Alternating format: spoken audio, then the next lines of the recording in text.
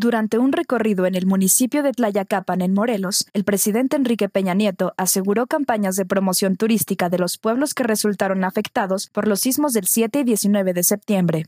Vamos a lanzar las campañas de promoción turística, ya lo estamos haciendo,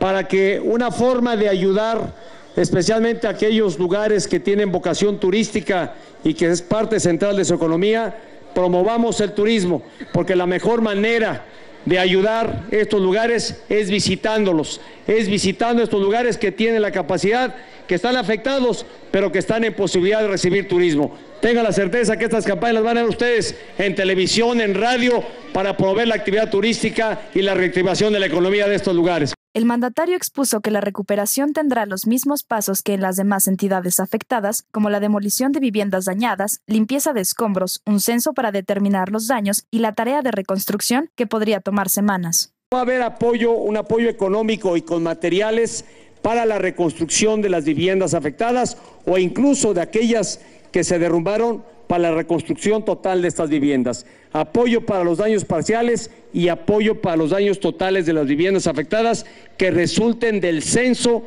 que se está realizando en este momento. Estamos por igual cuantificando las escuelas afectadas. No habremos de permitir que los niños regresen a escuelas que no sean seguras. Mucha de la reconstrucción de la vivienda, de la vivienda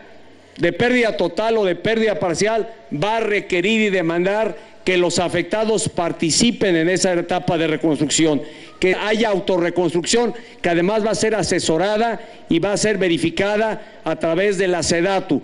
El jefe del Ejecutivo Federal anunció recursos para reparar y reconstruir los templos religiosos como el emblemático del lugar, dedicado a San Juan Bautista, y dio a conocer que la tarea de evaluación de estas estructuras está a cargo del Instituto Nacional de Antropología e Historia y la Secretaría de Cultura para recuperar el patrimonio cultural del país. El INA y la Secretaría de Cultura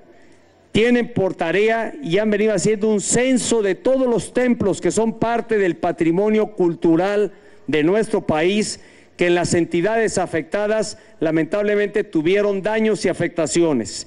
Y están valorando y están haciendo la tarea para buscar en lo posible, como creo que habrá de ocurrir prácticamente con la gran mayoría de los templos que habrán de reconstruirse, la reparación, no demolición, porque no queremos perder ese patrimonio cultural. Entonces, la Secretaría de Cultura estará dedicando recursos para preservar y reparar el patrimonio cultural que tenemos. Puedo afirmar que el templo de San Juan Bautista se va a reparar, no se va a demolir, se va a reparar, que forma parte de la riqueza cultural y turística de este municipio. Notimex.